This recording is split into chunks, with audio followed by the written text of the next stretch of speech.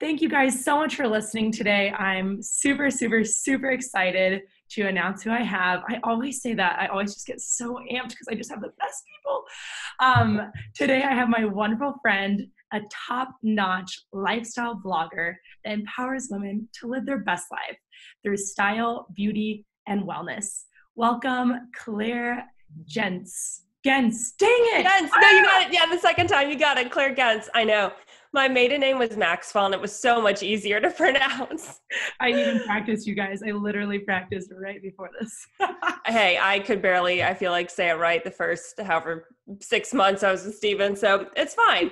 no, but thank you so much for having me on today. I am so excited. Um, I guess for those of you guys that probably don't know, so Janelle and I actually met at Rachel Hollis's Rise Business Conference earlier this year and just like instantly connected and Janelle, you already know this, but I love what you're doing. And I think what you're doing is so important because so many women need that like boost of confidence and just to feel empowered. So, anyway, super excited to be here today and thanks for having me. Yeah, thank you so much for being on. I'm, I'm pumped about our topics because we are talking about some taboo stuff, you guys. I recently did a little poll on Instagram that said, what are taboo topics you guys wish that people were talking more about? And I took directly from that list and I chose like four different topics that have to do with relationships um, because Claire and Stephen have such a fun marriage and I, I love their marriage. Like when Frankie and I met Claire and Stephen, it was like this instant foursome. Well, that sounds weird, but you know, connection. we just the um, four of us just instantly bonded. We really did. Yeah, it was really really fun. So whether you are single, dating around, in a relationship, married, this episode is going to have massive value for you and lots of great tips. Um, and yeah, the reason why I chose Claire for this episode is because I love her and Stephen's marriage, and I think it's so important to have marriages that are um, strong and um, I don't know. And I was even listening to your guys' podcast. Oh yeah, tell everyone about your podcast. Oh, okay, so yeah, my husband and I. So yeah, my husband obviously his name is Stephen. We have a podcast called the Husband and Wife Podcast, and really we just kind of dive into a bunch of lifestyle topics as a married couple. And so some of them are definitely on relationships, but there's others where the topics themselves, kind of in this case, whether you're single, dating, you know, engaged or married, they're applicable to everyone. And we just kind of have a very, it's pretty like raw and unfiltered. We literally don't do any editing, but it's just kind of like off the cuff and, you know, how we're really feeling and thinking and what we've experienced. So it's just, you can grab a cup of coffee, glass of wine, hang out with us, and hopefully get a bunch of good laughs, mostly per my husband, and like get some good takeaways at the end of it. Yes, I love that. Okay, cool. So it's called the Husband and Wife Podcast. Podcast. Yeah. And so you guys can go check them out. Um, you know, obviously Apple and Spotify and all that good stuff. Yes. Subscribe, five stars. You know the drill, you guys. I ask the same thing of mine too. So just the same. And the last thing we'll say before we officially dive in is if you want to look at Claire while you're watching or well, you could be watching this right now on YouTube, or you could be uh, listening to this listening. podcast. So if you want to check her out on Instagram, her Instagram is at Claire, and that's C L A I R E, and then her last name, Guentz. Yes, yes I did it.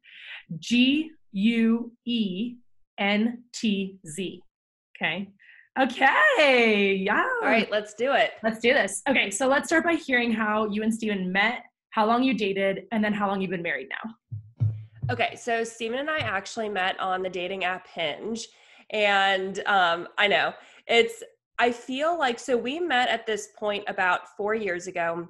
And so that was when dating apps were just kind of, I don't want to say taboo because I don't know, I've never really thought of them as that one way or the other, but I, they obviously weren't as common as they are now because now I feel like that's how so many people meet. But um, so Hinge had just come to Raleigh, um, Raleigh, North Carolina, which is where I live now. But I was in nursing school at the time and I was doing an internship, a summer internship at Duke. And I had just gotten out of a really long relationship. And I just thought, you know what? I'm just going to casually date. I'm just going to have fun. And so one of my friends recommended that I download the app.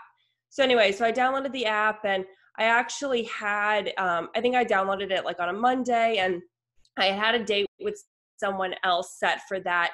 Um, I think it was like that Friday. sorry guys, I'm getting over a cough. Um, so anyway, and then I had met Stephen that second day on the app. We had talked that night. He asked, you know, we exchanged numbers. We were texting the next day, and he was like, "All right, well, like when can you meet?" And I thought, well, I can literally meet you tomorrow. And then I was thinking, and I have another date on Friday, and then I'm out of town for a week. So I was like, well, I can either meet you tomorrow or a week from now. And he was like, tomorrow.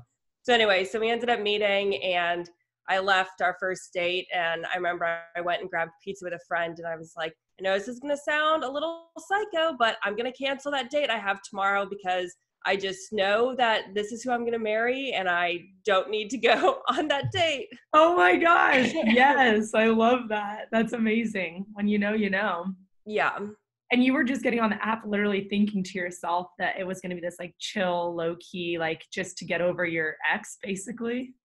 Yeah, I mean, so I yeah, we had been I had been with my ex at the time for about 3 or 4 years and um you know, nothing we you know broke up and it was like pretty amicable like nothing was wrong but i just knew like okay if we've been together for this long and i just we still quite aren't at that marriage point or like i don't know if that's what i want that i was like then i probably need to kind of take a step back and you know kind of do my own thing or focus on myself for a while and if it's meant to be with him then it'll happen but I didn't feel like unless I was 100% sure you know I felt like I we had been together long enough I was old enough at that point I was like something just isn't quite like I couldn't put my finger on it but just something wasn't aligning. So anyway yeah so I was like oh I'm just gonna you know I'm just here for the summer you know I'll just kind of like because I never honestly like kind of dated casually before that I'd always been in like longer relationships. So I was like oh it'll just be like a fun summer and then you know and then you met the man yes. of your dreams that is not your husband. Yes. exactly. That. That's so cool. Okay, cool. So, how old were you when you met Stephen? So, we were 26 when I met and um we I think did you ask how long we dated before? Yeah, yeah, yeah. Yeah. So, um 26 when we met and then I think we met yeah, this um during the summer like a June or July and then we ended up getting engaged that following March. And then we got married a little over a year later. Cool. So that was kind of like, the timeline. Like eight eight months or something, nine months. Yeah, about eight months. Yeah. Okay. Cool. That's awesome. So yeah. Cool. So yeah, it was one of those things that I mean, I've asked him. I think I knew a little. I mean, like I said, leaving our first date, and I never really believed in that phrase. You know, when you know, you know. And I don't think that necessarily happens to everyone. Obviously, there's plenty of people in like really happy like happy happy marriages that weren't like oh like i knew right away but i that was the first time i was like oh, okay i feel like i actually now understand why people say that yeah totally and i sometimes think it has to do with like the age too like if you're younger and you start dating your person like high school or college, then you might not have quite that same like when For you sure. know type thing because yeah. you didn't really know what you wanted. You just like you like don't really know yourself at that point. Right so like yeah. you maybe fell in love and then yeah now they now that couple might be married and have an awesome marriage and so they wouldn't have that same story but i i think and i could be wrong but it seems like when you're a little bit older like um 25 26 27 like mid 20s and above you kind of you know yourself so well at that point that you do have a better idea of what you're looking for and then for sure. you end up having a little bit more of that like i knew immediately type feeling. Yeah no totally agree so I love that you met on Hinge, first of all, because I love Hinge of all the dating apps. Like I didn't use dating apps that much when I was single, but I used um Bump. No, I never used Bumble because I didn't want to have to be the one to reach out to a guy. I was like, I want. I'm old fashioned. He has to reach out to me. Yeah, you're like, no, I did. That's not happening. I did Tinder actually, like four years ago, for literally 48 hours. It was it was a nightmare. Yeah, Stephen was on that one quite a bit before we met.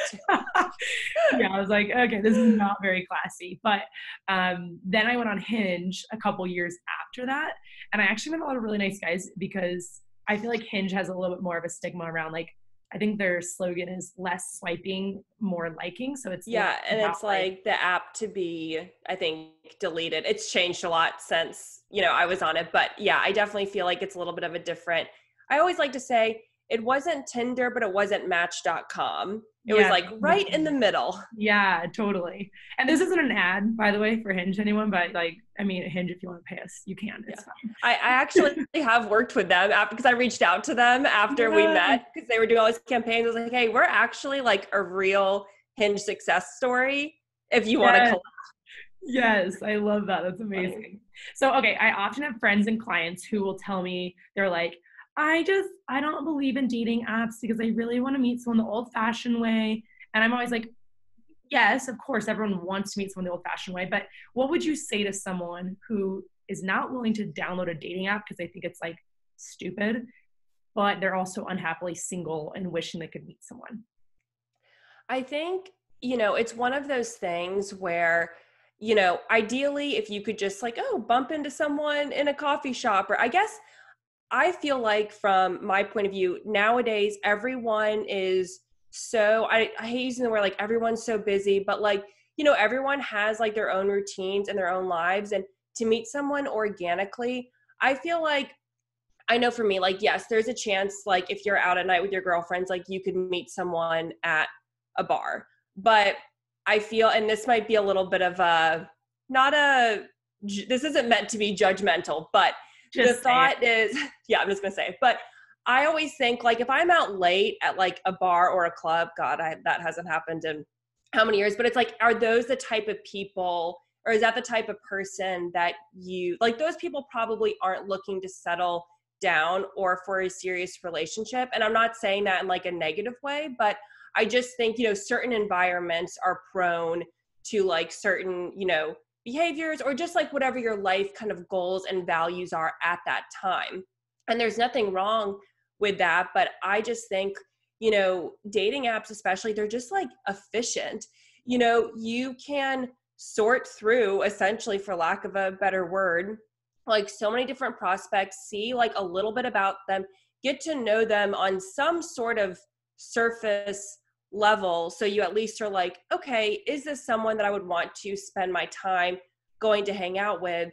Versus i feel like you know if you're out and just like trying to meet someone you don't know if someone's single you don't know if they're looking for a relationship you don't know anything about them. And so the right. chances of just kind of like organically bumping into someone um, i'm not saying it's not possible but if being in a relationship is some and like finding your person is something that you want at this point and it's you know on your mind then i just feel like why not try why not try a dating app? Yeah. I guess i just don't really see the downside to it. Yeah. I think sometimes people think like oh i'm so busy i don't have time for it. I think maybe actually i think sometimes it might just be like the embarrassment of saying like we met online or something like that because um I feel like they're like, I don't know, it's just not a cute story. Like people want like a meet cute story where they like, you know, yeah, they met at a coffee shop or they met on like a bus or they like accidentally both turned the same corner at the same time and bumped into each other, you know, and right. And of course, like Hollywood makes that stuff seem so beautiful and fun because it's it, it is. It's like fun to like bump into someone and then and to meet them. But like you said, they might have all the qualities you're looking for, but I think that back in the day that maybe happened more where people were just like meeting someone they're yeah and they're not like constantly like working or like i mean unfortunately or fortunately however you want to look at it i mean we just spend so much time online these days. I mean there's not it's just a very different climate now than it was you know 20 years ago. Right and the other thing that i'll say is that like i think people are getting pickier also which i don't think is a bad thing. I always encourage people to make a list of 20 things they're looking for in right. their future husband or future wife and then also to make a list of 20 things that they have to offer. So it's not just about looking at the other person it's looking at like who are you? are you the right person? Um, but like as we get pickier we want more and more and more things because with social media we're able to see so many different types of people. Right. so I, I believe our standards have gone up a lot of what we're looking for. So I, if you take that high standard and then you are wanting this organic meet cute on the side of the road it may happen but it might take 10 or 20 years. And if you're willing to wait that long great do it. But also yeah but you have sorry go ahead. Go ahead yeah. No i was just going to say but you have to think like is it worth like if it's something that you if you really want to find a partner it's like is it worth you know foregoing you know all because you can still go try to meet someone in person but why not also have an app that can increase your chances. And I think it's funny because when people ask me, "Oh, how'd you guys meet?" I'm always like, "Oh, it's such a cute story. Like we met on Hinge." And but I do know what you're saying because I've also had women message me and I've asked, "Oh, well, how does your family feel that you met on a dating app or how does it feel when you tell people?" And maybe it's because I just genuinely don't really care what other people think, but I've just never really thought anything of it. And so for me, I mean, just kind of like a rule in life, it's if someone's going to judge you for something that you're doing, and if someone in this case is going to judge you for a dating app, people usually judge people out of a place of like insecurity. Um, so I just feel like if it's something you want to do and there's a chance that you could find your partner on there, then why not? I'm like, who cares? Why not do it? Right. And I will say one more thing about Hinge, still on an ad, but one thing that's cool is that you can actually put different toggles on it. So you can be like, if you want a certain faith, like for me, when I went on, I wanted to find a Christian guy. And yeah, just because a guy toggles Christian on the app doesn't necessarily mean he's like the type of Christian I'm looking for, like someone who goes to church and and really like is devout to their faith.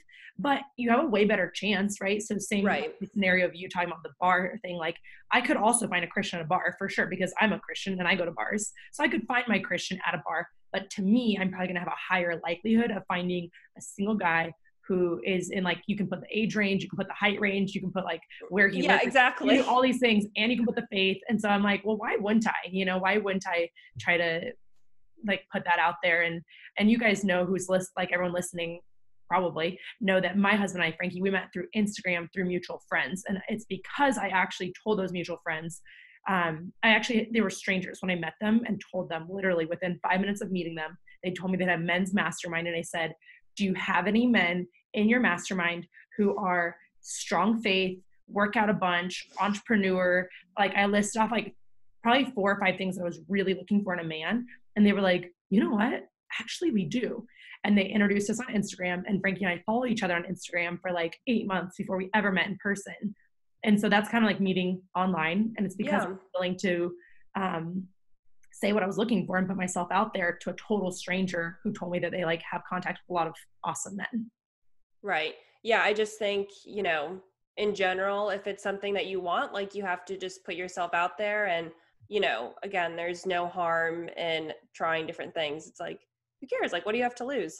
Yeah. And you can always take it slow too. That's the other thing I hear is right. like, I'm going to be stressed out. I have to go on, it's so much work. I have to go on dates every night of the week. It's like, you really don't. Like, I have one friend who, and I won't mention her name, but when she does it, I really respect how she goes about it because she doesn't talk to five different guys at once. If she connects with a guy on on the app, she might even delete the app or not use the app for another three or four months if if they're talk if she's talking with this guy right. you know, she's not trying to date 10 guys at once. You can meet someone get to know them for a few months or a few weeks or whatever and get off the app for that time and then get back on. So you don't have to be this like stressful back to back dating type situation.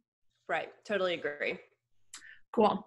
Um, and then the last thing about dating apps what do you think is a good mindset to have around online dating to attract the right kind of person you know, it's funny. I think Stephen and I were just talking about this the other day. So we have this little segment that we do on my um, IGTV called A Man's Perspective. So um, women that follow me will send in various questions when they want to know, okay, like, well, what does a man really think? And one of them recently was about what is what makes a woman attractive. And one of the things that we kept talking about, and this is something, I mean, really just to answer this question, and obviously everything you're doing goes back to confidence. When you are confident, whether it's, and that translates through messages, you know, if you're, I don't want to say like needy or, sorry guys, I don't want to say like needy or desperate because that sounds like a little harsh, but if you are so eager to just jump on like, oh my gosh, someone messaged me, you know, versus like really taking the time to be like, okay, you know, is this person someone that I'm really interested in connecting with? Do we have a lot in common? Is this someone who I might genuinely be interested in? And then just having confidence in like, you know, Janelle, what you were saying earlier, like what you have to offer. And I think that translates, you know, through text and through phone calls and just meeting in person. And you don't have to be, you know, playing games or like you know give someone like the cold shoulder you can still act that you're interested. But i think you know knowing at the end of the day like hey you know i have a lot to offer and i like don't deserve i should i should never settle. And i deserve someone who is going to treat me as well as you know i would treat them and who would be like a really great partner. And so i think almost just kind of having that demeanor and just carrying yourself, you know, with confidence versus, you know, kind of being so eager or willing, like, oh, if someone messages me, like, yes, like, I, you know, found someone they want to go out on a date. Cause I know when you're searching for your partner, and if it's been a while, it can feel frustrating. You're like, hey, well, maybe this person's it. Maybe this person is it. But I guess I would say just kind of like take a breath and, you know, really remember like everything that you deserve and ask yourself, like, okay, like, is this someone that I would genuinely be interested in? And because I think, you know, having that confidence in yourself, that definitely translates mm-hmm. through. Yeah, I agree. Yeah. And so I guess, what do you think are some ideas of someone like who doesn't know? They're like, well, what is that like? what does des- what would desperate look like or what would clingy look like like what are some just maybe really practical little tips that would maybe come off as confident as opposed to clingy or desperate um, one thing I noticed is what Stephen has said. Um, if you can kind of take initiative, like every single time, not being to the guy, like, well, you plan something. Like, what do you want to do? What do you want to do? Like, again, having it kind of be more of a partnership and helping take the initiative to like plan dates or things of that nature. And I think just physically like hold your you know I, this sounds like silly but you know like holding your shoulders up like actually and we've talked about this just power posing stand, yes but like your power pose yeah just your stance and how you carry yourself i know stephen said one time he dated a girl who was tall i mean i'm tall i'm five nine but the entire time she was hunched over because she i think just didn't like being as tall. And he's like and that you know translates into like how you're holding yourself and your confidence. And so i think like physically just you know carrying yourself well. And i think when it comes to things like texting you know no one wants to if a guy texts you like all right well i'm not going to respond for two days because like i'm playing hard to get but also you know i don't want to say like don't be blowing up their phone but i think the other thing to remember is like everyone especially in the beginning you know still has their own lives and things that you're doing and so you can kind of be in like constant communication without constantly you know messaging them um and so i don't know i think that those are kind of like a few things like taking initiative um helping plan things physically you know hold it power pose you know holding yourself upright shoulders back and showing confidence through that and then just when it comes to you know texting or phone calls you know, I don't just, I mean, it seems kind of obvious, like, don't be blowing up someone's phone. But, you know, there's an in between between being like cold and playing games and then also being constantly like, hey, like, what are you doing? Or what, you know. Yeah, I remember like this is something so silly, but since we're talking about all the details, I remember when I was doing all the dating stuff, it's like I would try to add just a little extra lag time to what they texted me. So, for example, if it took him like 10 minutes to text me back or 15 minutes to text me back, I would try to wait that same amount of time so that, that way, like it sounds weird, but I was like kind of matching his pace yeah, no, said that out loud before. But yeah, you're like instead of being like, oh, I got a text from him, and especially yeah, I think that can come off desperately, even if you don't mean it like that, because you're just right. excited and happy, and he might be interested in you. So you're like, it's fine, I'll just message immediately back. But if he like texts you back, and every single time he has like his phone immediately lights up, lights up, lights up, it's just this like feeling of like, ooh, is this girl gonna be like a lot, you know? And yeah, exactly. Yeah so it's like kind of a weird thing to think about but it's just being like and it, i think it teaches you self-control too like as a woman or or i guess if you're a man listening and it's the other way but especially a woman it teaches you self-control to not respond immediately. It teaches you to be like okay i'm excited about this. He's awesome.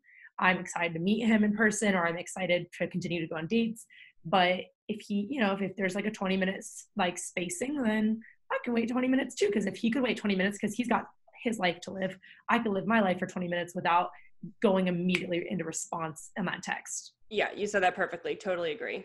Yeah, so cool.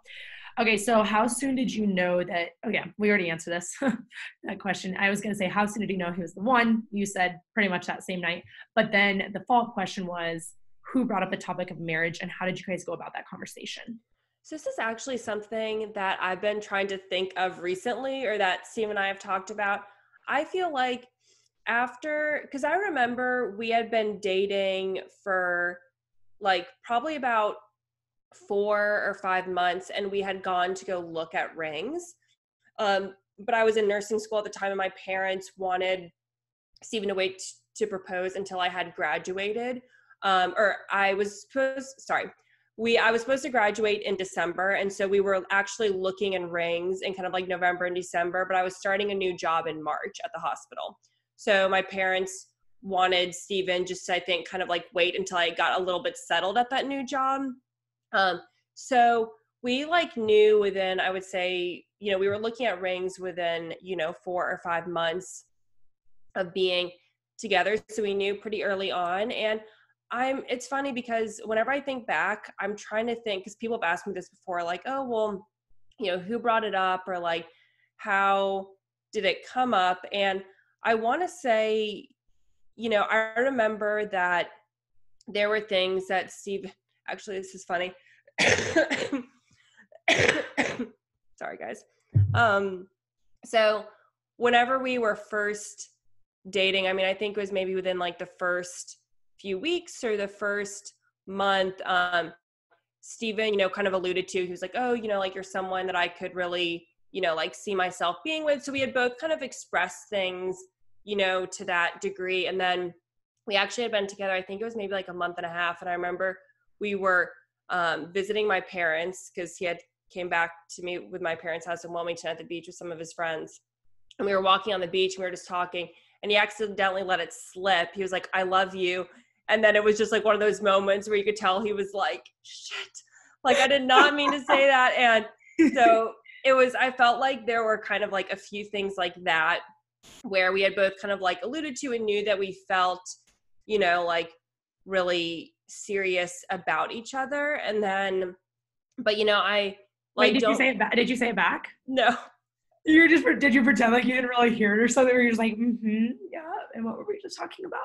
The beach is no. I yeah. I I just remember like looking at him and you could tell he was like, oh, I just put my foot in my mouth. And I was I just like didn't say anything back. And I think I remember at the time I had felt you know the same way and like I knew that we were going to be together, but I just wasn't like quite ready, you know, to say it. And so then I remember that um, later that summer he had, you know, then like kind of officially or finally told me. But I think, I don't know, I'm doing a terrible job at answering this question because I can't remember exactly kind of like who brought up marriage or, but it was one of those things, you know, in the beginning, you know, the first, you know, from that first like month to, you know, three or four months, we had both kind of said things, oh, you know, like I could really see each other being together. And, you know, he had alluded, you know, like I love you or said it, whatever so there were kind of milestones or things like that that I think we both just kind of knew what direction it was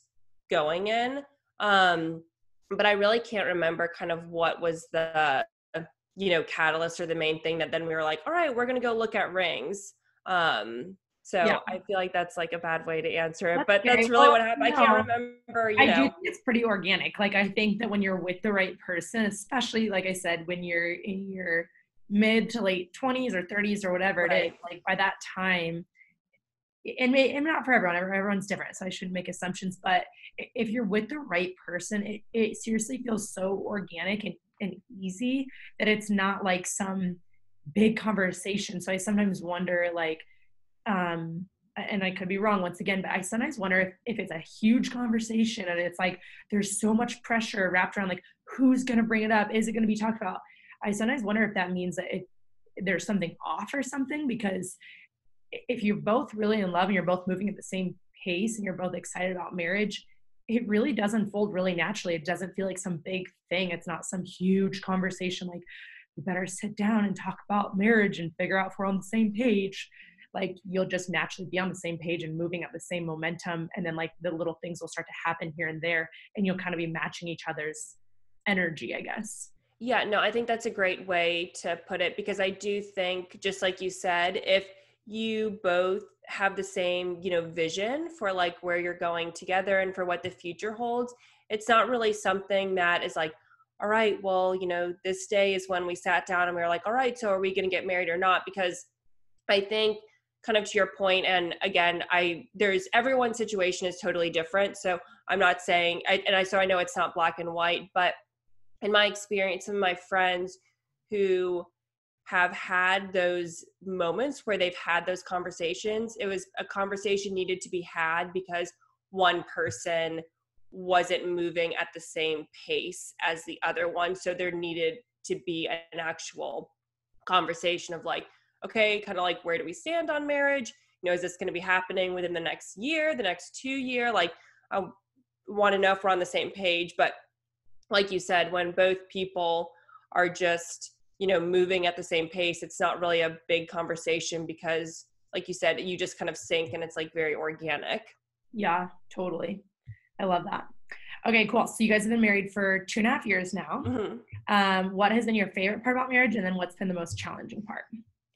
I think the favorite part, it's just I don't know how else to say this, but it's like having a partner and knowing that you always have someone that is kind of there to like encourage you and support you. It's just like having the best teammate. And, you know, I feel like I'm a pretty independent person, but at the same time, and so I know that I would be, quote, fine without Stephen, but at the same time, it's you don't want to be without them. And it's knowing that you guys just like have each other's backs and you kind of feel like, hey, like we can do anything together and, you know, conquer whatever we want when we're with each other and have each other's support. And maybe that sounds kind of cliche or lame, but you know, it's and it's having that um, you know, someone to confide in and you always know like at the end of the day that you guys are a team and you will be there to support each other. And I think that I don't know, like companionship and support, for lack of a better word, is just like such a blessing. Mm-hmm. Um, and I would think one of the most challenging parts, I think, you know, I, and I don't say this to be because I mean, trust me, everyone's marriage has things that they can, you know, improve on and work on. But, um, you know, I feel like recently it was actually this year Steve and I were out, um, and he was actually with me, and two of the girls we were with was like, "Oh my God, the first year of marriage is just like so hard, and like everyone said it would be, and um, they were like, oh, I just like I know that it it will be fine, and it's supposed like everyone said it would be this way, but I don't know. I honestly, we just Steve and I remember we got back in the car and we were like, do we feel that way? Like I don't think we felt that way. Like things have been, you know, things have been great, and of course, like we've had you know different obstacles um, you know, and challenges. And, but I think, you know, we've never really run into anything where we haven't been like, hey, like, we'll, you know, we'll figure it out. I think, you know, the one thing though that is most challenging when you are, you know, married and you can't be selfish anymore.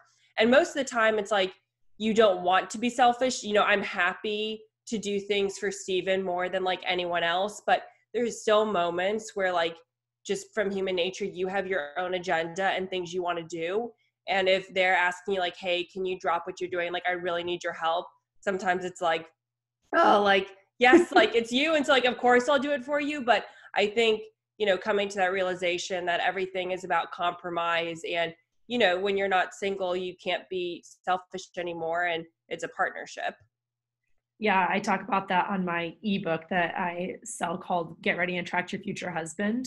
And the first lesson is talk, talking about like the grass is always greener on the other side. So a lot of times single people think it's that being married is like the end all be all. And yes, marriage is amazing, but also like when you're single, it's nice because there's some things you never have to worry about. And at that mm-hmm. time, I was living in California and through our entire dating relationship, we were supposed to live in California because Frankie lived in Denver. I lived in California in San Diego and we were doing long distance for a year. And that almost that entire year we were supposed to move to San Diego. That was always the plan from day one because I love San Diego that much. And he always had a dream of living there at some point. So it was like, oh, perfect.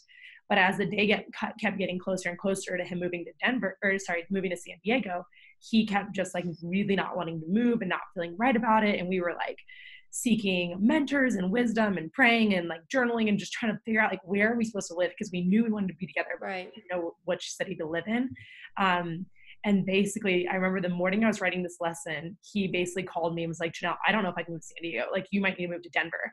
And like that was devastating for me. Like i did not with my entire soul and being never i did not want to move back to colorado because that's where i lived before I moved to San Diego. And I was like, I'm not moving back there. Um, And for anyone who's listening who's like moved to a new city all by themselves, made a whole life for themselves, and then you had to picture moving back to like where you came from, it's just this weird thing where you're like, I don't want to go back to where I came from. It's like taking a step backwards, even though it's not really. So in this lesson, I'm like, you know, being single isn't that bad because if I was single right now, I wouldn't have to be thinking about moving to Denver. I'd still be just, in San Diego. Yeah, I could just stay in San Diego and be happy. But that is like truly the epitome of marriage in so many ways. Like, I mean, uprooting your entire life and moving to a new city, I'm not gonna lie, has been like the most selfless thing I've probably ever done in my entire life because before that, I would just do whatever I wanted to do right. whenever I wanted to do it. And it has not been easy. Like it's worth it, but it's been painful to move to a brand new city for you know your husband. So we got I moved here and then we got married a couple weeks later, um, and that was just like four months ago. So it's still been hard just trying to make new friends and and so there is like I love what you're saying about the hardest. I think the big one of the biggest challenges can just be like the true selflessness that comes with it, and there are sacrifices that you have to make that you don't even can't even fathom right now, especially if you're single. Right. You're like, oh, I want marriage. You don't even understand how many sacrifices you might make at some point, and every single time it will be worth it. Like you, you won't even really second guess it because you're like, I'll do anything to make this marriage work. Yeah, like you know it's the right thing to do, and you want to do it, but like you said, it's just the realization that you know when you're single, you're only responsible for yourself, and yeah. Right. Totally. Okay, cool. So, how have you guys um, handled or tackled hard or awkward conversations? So, I think one of the things is Steve and I, from the beginning, we've always really focused on having open communication. And I think for us, we actually have what we kind of call the three day rule, where if something has been on either one of our minds for three days, then at that point you need to bring it up to the other person. Because if you've been thinking because you know sometimes like someone you know or your husband or wife partner whoever you know does something that kind of bothers you or doesn't maybe sit with you well or it's something you want to bring up to them.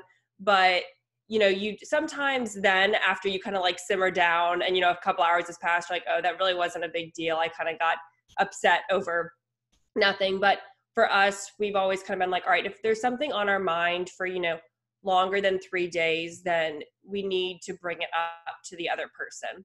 And so that's kind of, um, you know, approach we've taken. I think when we do approach it, since we've established just having like open communication, then we know that when the other person like we know i know if stephen comes to me about something that's hard to bring up and if i come to him we both know it's because the other person just wants what is best for like our marriage and our relationship because when you let something fester then you end up building resentment. It ends up turning into like you don't give the another the other person a chance to fix it. You know it's it can turn what would be like a you know molehill into a mountain or whatever the saying is. Yeah. So i think one of the things that we are really and when bringing up the conversation instead of saying things like hey, well, you've made me feel this way, and kind of getting defensive right off the bat. I think an important thing, at least what we do, is like, hey, this is something that's been on my mind for a little while. I don't know. And it's just something that like I wanted to kind of get off my chest and talk with you about because I don't want to, you know, hold on to it any longer and kind of let it turn into more than it needs to be. And so I think kind of when you start off conversations, phrasing it that way and kind of teeing it up like, hey, I just want what's best for us. And so I would just rather have us talk about it and get it out in the open mm-hmm. versus just holding this in and becoming resentful. I think when you approach any hard conversation with that kind of sentiment, the other person knows right away that you're not going in to attack them. It's just kind of like, hey, this is something like I've been feeling and I want what's best for us. And so I just like want to get out in the open and talk about it. Yeah. And I think it's important to say like the way it made me feel or something like that because I know sometimes if I'm in the heat of a moment, it can be so easy to be like, yeah, it's more of an, it feels like an attack on Frankie. Right. right? Like, whoa, I can't do anything right. Like, like, what? I can't believe you did this. Yeah. Versus right. if you're like, hey, like when you, you know, even like something silly, but it's like, hey, when you don't load your dish, actually, this is my problem that he hates that I don't load my dish fast enough. When you don't load your dish, it makes it feel like you, you know, I feel like you don't listen to me or you don't care about the things I've told you that matter to me or whatever. Like it's coming from a place of emotion rather than coming from a place of like nitpicking that little item, you know? Right. Like, why aren't you loading the dishwasher? Or like, why aren't you versus like, hey, this is how it's making it makes me feel like you don't value.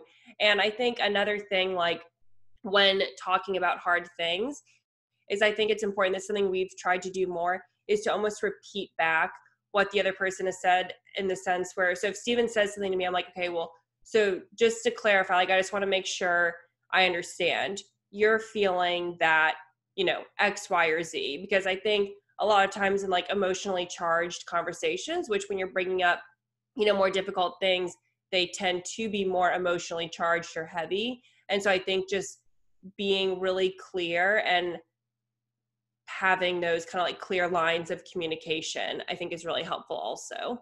Yeah, I like that. Yeah, the like repeat back thing. It feels a little therapist-y because that's yeah, but but really, I mean, there's a reason why they do that, right? It's like, okay, so what I'm hearing you say is this, and sometimes when you repeat it back, they might be like, oh, well, I guess that's not exactly what I meant, and then they try to reword it, and you're like, okay, and then like, so this, and then they're like, and you get closer and closer to like actually solving the problem or like getting to the root of the issue as opposed to just like staying on the surface level.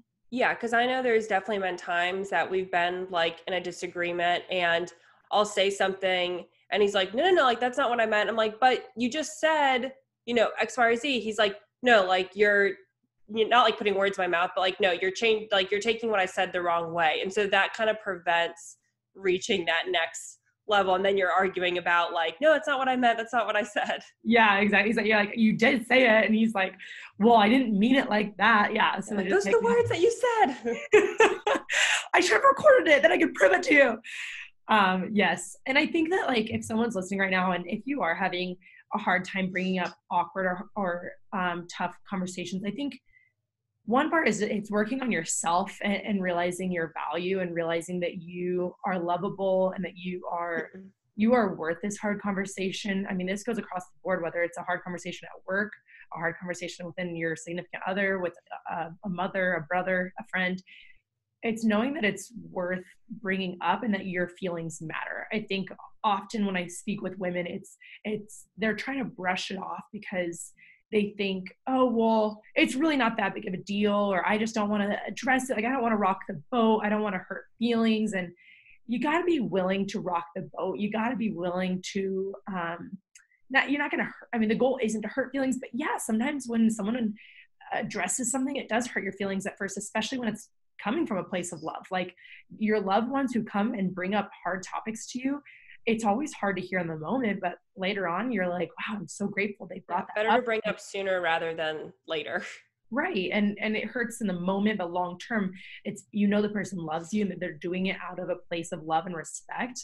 And so I think it's just learning to value your voice and value your emotions and value your your thoughts because if you're so afraid that you're going to go into this conversation that he's going to be like angry or mad or or something like that then it's it's being like okay he's not going to be as long as i go into it with a loving from a loving place and explain it to him he's not going to get angry he's not going to get mad or if he does it might just be for a little bit as we work through it um, and i guess if he is the type of person that does get angry and mad really easily then then maybe there's there's more to do there where maybe therapy right. or something might be a good option for you guys to go to probably separately where you can go through a therapist and he can go to a different therapist and you guys can um, work through stuff individually so that way you get become better for each other.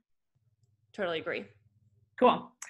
Okay awesome. Um so i think i'm going to move on to our portion where we talk about sex. Speaking of awkward topics yeah exactly. Let's talk about you and me.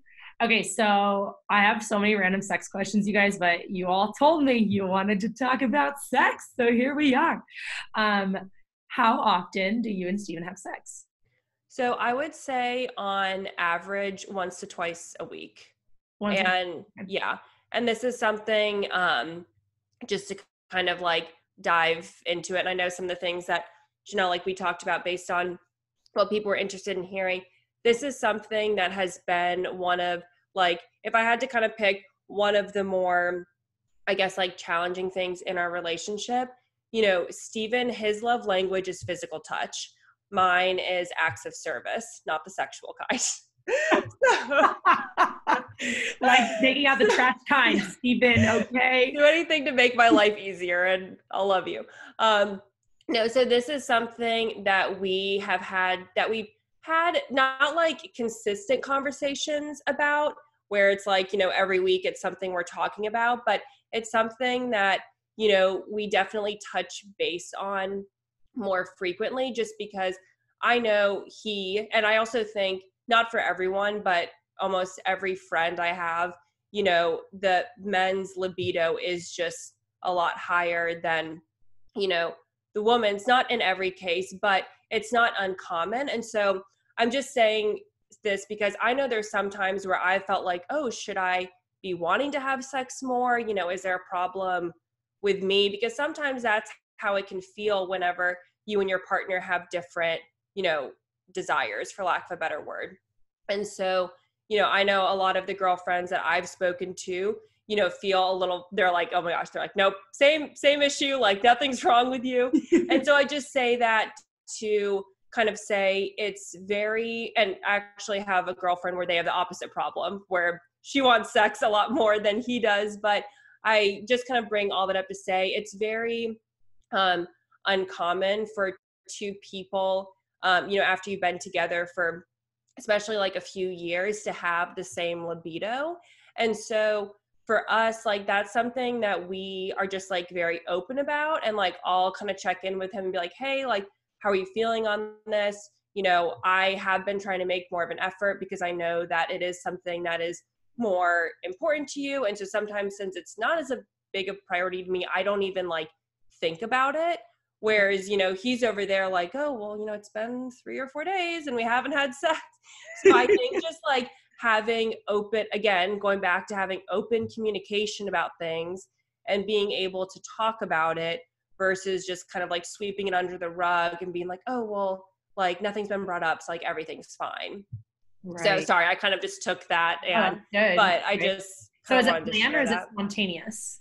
Um, spontaneous, but I will say, you know, I've said to him before because we both, you know, work basically. So we both work from home, you know, together almost like every day of the week. You know, Stephen was in school full time as a student that actually like just ended yesterday. And then I work um, at the hospital as a nurse, but I work PRN. So I'm just there a few shifts a month. And otherwise, I'm at home working on my blog. So we are together working from home a lot. And so I think since, you know, we kind of like have our own businesses and things that we're working on, we almost, you know, we work kind of seven days a week.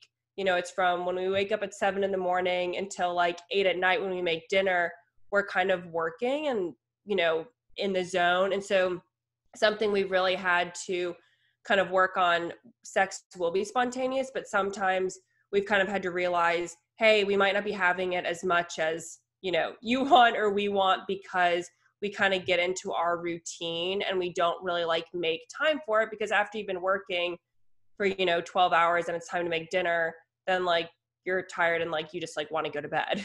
Right yeah. you know so it's almost kind of planning like hey like not necessarily planning for it but i will say you know the only thing not sexier than or what is the phrase? Shit it's basically like talking about you know you might think like it's not sexy to have sex planned but what's less sexy is not having sex at all. So yeah. you know. Yeah i've gone to like marriage conferences back when i was single because i was putting them on through my church. So yeah that was fun. Um and they would talk about like planned sex pretty often of like putting it in like a schedule and like literally scheduling it. Like i think this guy him and his wife had been married for like 20 or 25 years or something and they had like three planned sex times each week or whatever. Yeah i, I mean if that's what yeah. makes sense. Yeah you got to put it it's like i mean it sounds kind of ridiculous it's kind of like a workout like i love working out and working out feels good but if i don't plan for it especially like if i wake up and i just kind of see what happens sometimes it doesn't happen, you know? And, yeah, no, it's a very, that's like a really good comparison. Yeah, I love it. After. I work out, I'm like, yes, I'm so glad I did that. And a lot of times that's how sex is too. Like you might not be super in the mood, like right in that moment. At least maybe I'm just speaking for myself, but I might be like, no, I agree. But by the time we're done, I'm like, wow, glad we did that. that yeah, you're fun. never like, oh, that was terrible. Yeah. Yeah, yeah exactly. I love that. Um, okay, so have you ever had a time in your life where your sex life wasn't awesome and what did you do to spice things up again? Well, I guess just kind of going kind of like what I was saying earlier. Um, I don't feel like, you know, we've reached a point where we're like, oh wow, like our sex life is really, you know, terrible. But I think we also realize that since we have kind of like different libidos and, you know, Stephen would want it X amount of would X amount of times and I'd be okay with you know, like less for lack of a better word.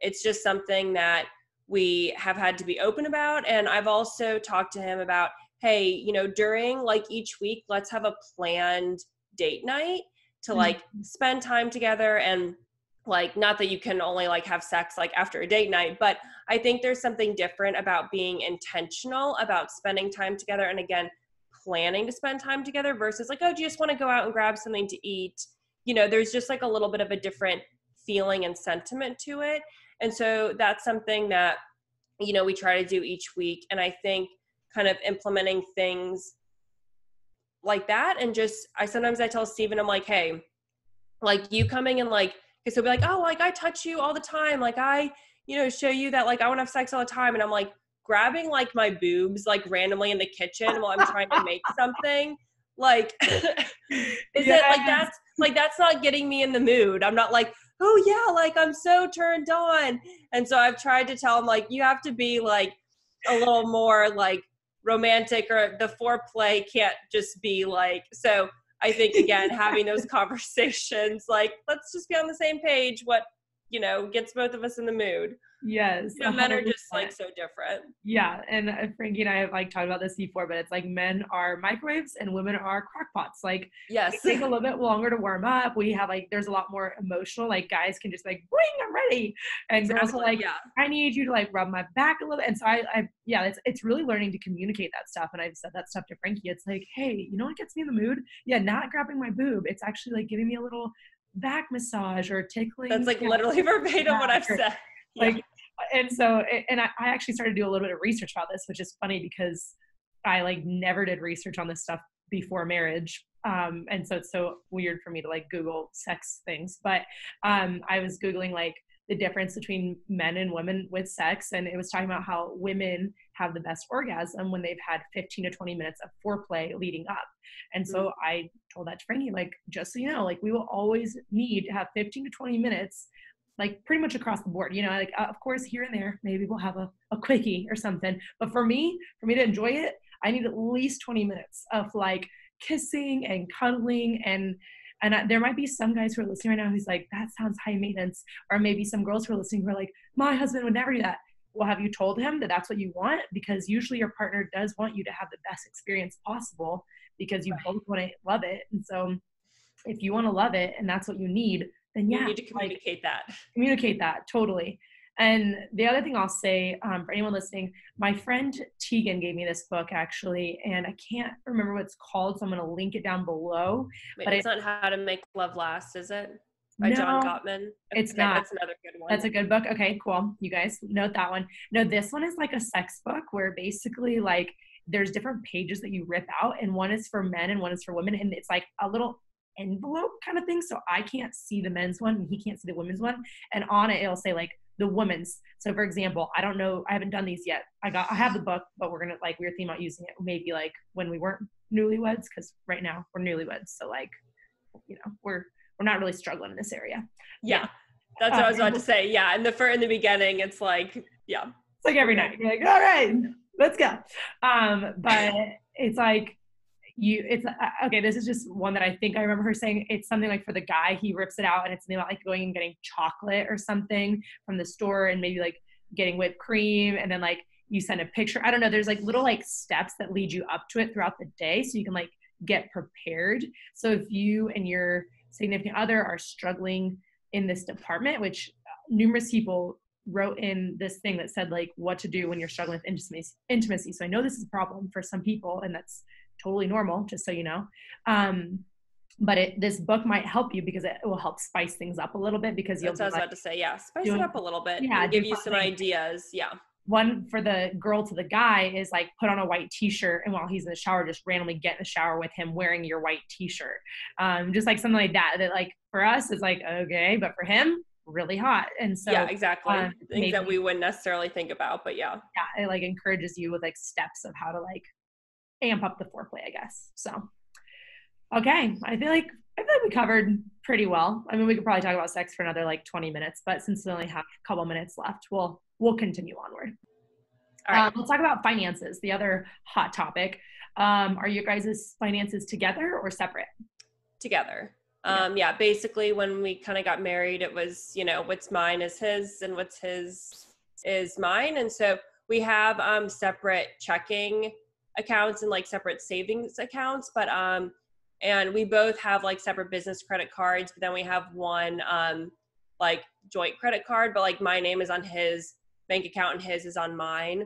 So yes, like we have separate accounts, but I mean, it's really just kind of like all one big pot for lack of a so then who like, if, if like you have a checking and he has a checking and you guys both have your own businesses and you have like stuff auto withdrawing or like rent or something like do you have different tasks that are delegated to different people or? so our situation is a little bit different because basically for the last like i was saying you know three years stephen has been in school so he has not had an income so um he his job kind of a long backstory. He's working on a separate business right now, but basically it's not profitable at the moment. It's just in the beginning stages. So, really, while he was in school, he was working on that, but his quote job, I mean, he would help me with my business and my brand. So, really, all the money technically would be deposited in my account from you know either the hospital or brands that I would work with. And so that's where all the bills and everything would be paid from. And then um, if i would then we would transfer part of that money to his checking. But that would be more so like if he you know just so he could have money like in his checking account but bills and everything we would just have it like auto drafted from my account. It'll be interesting to see you know now that he's graduated and our financial situation will be changing some um, kind of like what the dynamic of like oh well what's drafted from where? And but we've always just kind of had that mentality of you know everything is both of ours together kind of like regardless of what account it's in but we've just kind of had a little bit of an interesting setup given that he's been in school yeah yeah so what has it been like um, for you being the breadwinner and then what has it been like for Stephen um, being like on the receiving end of that um so i think like you know, this is something that we have talked about. And I think for Stephen, you know, and I mean, and me both, like, it's never really been a thing. Like, whether, you know, if I was going back to school and he was making the money, I don't think anyone would say anything or anyone would think anything. And it's kind of the same for us. Like, just because he's in school, like, I'm happy to help support him. I know he would do the same for me. And it's funny because it's not really anything that has kind of crossed either of our like, oh, you know, like I'm the woman and I'm the quote breadwinner, which like isn't as traditional, but you know, it kind of makes me sad because I've had women reach out to me saying, oh, you know, my husband and I are in a similar situation, and we've had friends and family making comments like, well, it doesn't matter that your husband's in school, like he needs to be getting a job to mm. support you guys. And I mean, Steve and I have always kind of been like, we're a team like we're partners if one of us wants if we both decide like hey this is what the other person should do like in this case stephen going back to school you know that's a decision we made together and we're going to support each other it doesn't matter like if i'm quote bringing in the money or if he is because the other person is helping out. There's other ways to help out besides monetarily yeah. and like you're a team. So i don't know it's just something that we've never really it doesn't even like really cross our minds if that makes sense. Yeah totally that makes sense. Yeah i know i can speak from the other side where as i've been growing my business because when i was working for myself doing next level confident um, one-on-one coaching. It was like half personal training, half life coaching. Um, I was bringing in more money, but now that I've shifted, and I'm doing the confidence workshop full time, and now I'm getting into the corporate world and teaching workshops there. But as I'm building that business, I'm not bringing in as much money as I was, and it's, it, I mean, it's just tough because for me, I want to be bringing in lots of money, and I want to be like I want to be contributing. So I don't know. It's it's interesting because that has been a conversation for Frankie and I fairly often where like I am like I'll have like freakouts. I'm like, I don't want to use your money. He's like, it's our money. And and obviously once again we're like really new to marriage, so it's only been like three, four months. It's still such a weird idea to me that I would be like using someone else's money. And I think part of it's how I was raised was very like I bought my own cell phone and ha- paid my own cell phone bill at the age of 13 i when i wanted a car at 16 i started to pay for the gas and the car insurance at 16 like i've always paid for all my own things and so for me to like accept frankie's income oh, as something that's going to yeah. support us right now as i'm continuing to build my business um it's super humbling like i'm i'm so grateful for it and i know it's a blessing but sometimes it like I mean, even talking about, it, I'm literally getting emotional right now because it like hurts. It hurts my heart almost because I'm. I think it's just pride. Honestly, it's me being prideful and being like, I want to bring the money. I want to pay for things. I want to be like self sufficient, and it's it um it ends up being kind of humbling to allow someone else to to pay the bills um, when I've paid my own bills for so long. And so it's been kind of a learning lesson for me. It's like, wow, this is what it looks like to receive. This is what it looks like to to be reliant on someone for for at least a while and, and we're married so of course we're reliant but i don't know it's this weird this weird thing yeah and, and like i know with Stephen you know he's made comments he's like i'm just ready to like you know make money and like i want to support you but i think and so i understand that and i know that's how he feels but i think also both of us were like hey you're doing something to better yourself for our future and I know there will probably be a time where, um, I mean, hopefully not, but um, you know, if but if there's a time in the future where something goes is happening with my business and like I'm not making as much or like I can't afford, like I know that he would step up and because again, it's just like you are. I know it's kind of a a shift you have to go through when you're not used to relying on someone and having someone else pay for things, but I just think it's like we like to just try to think of it, you know, at the end of the day, we're a team and you know i wouldn't be able to do what i'm doing without stephen's help and support and yeah it's not like monetary help and support but like my blog you know my business would not be what it is today without stephen you know taking the time mm-hmm. um you know to help me and so i think just remembering it's like you guys are both a team and as long as it's something that you guys have like open conversation conversation and i'm not saying like you to you and Frank, but like just people yeah. you know yeah. in general like an open conversation about um i think again just kind of going back to like open lines of communication and there's no right or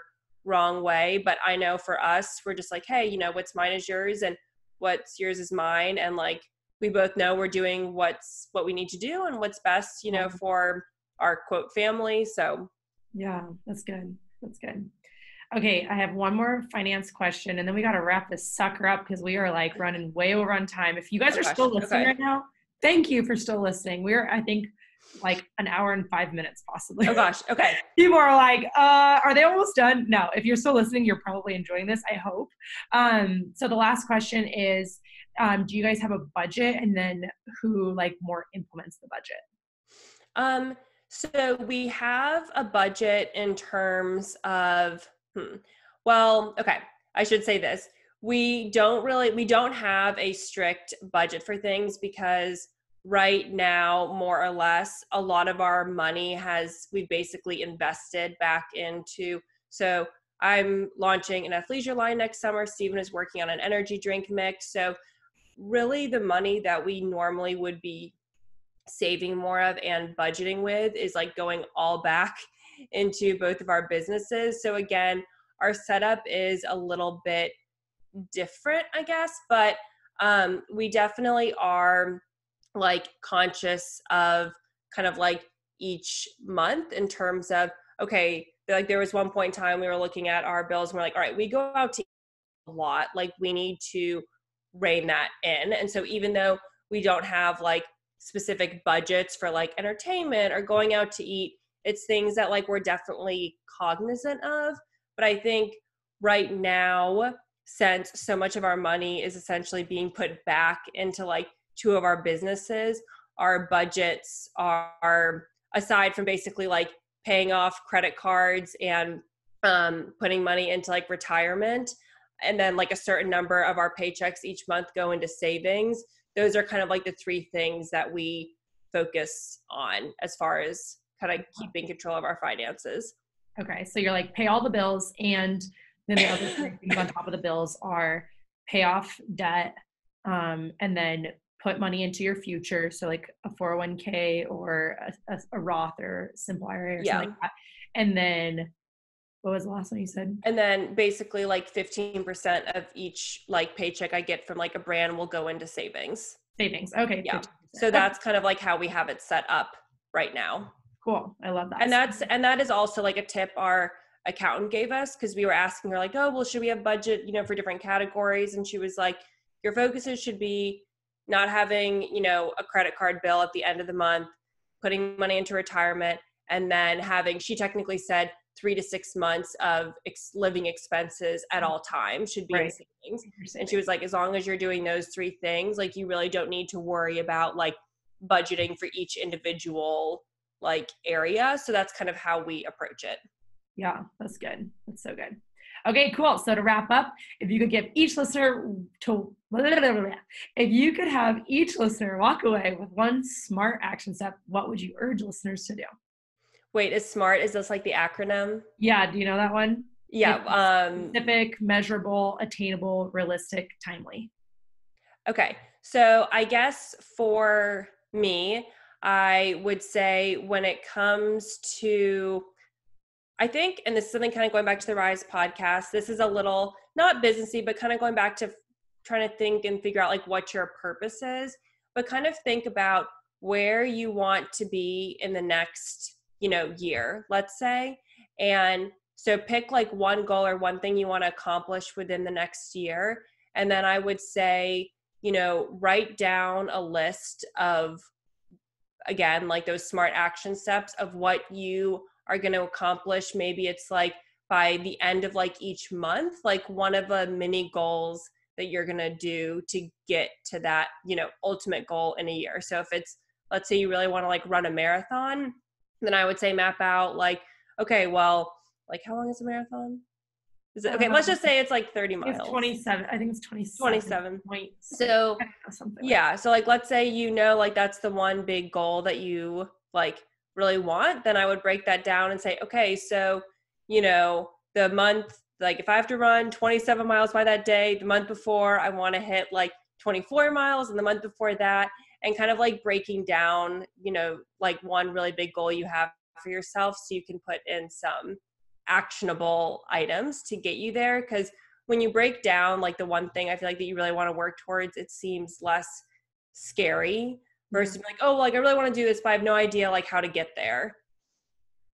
Yeah it's like like when i wanted to start a podcast it was like what are the, all the elements that you need to start a podcast? I'm like okay well i need a platform to host it on and i need you know uh, a microphone and, and so it's breaking it down and doing the small little goals and then i would say to bring it like full circle with relationship it's it's telling your spouse like what you broke down and maybe even doing this exercise with you yeah i probably should have made that towards um, the example towards but towards the relationship okay. well being yeah like version one, of yourself is part of part of you know the right. relationship. So i think you're right. It's like setting a goal and maybe it's setting a goal together. So maybe that's getting out of debt or maybe that's to buy a house or maybe that's to get your dream car or maybe it's get a dog maybe, or a date night once a week. Date night once a week right yeah. breaking it down and be like how can we afford this financially or how can we get a sitter if you have kids or or whatever just um, sitting down together and creating a goal together or creating separate goals and then sitting down and talking about it. So you it's like how can i support you and how can you support me?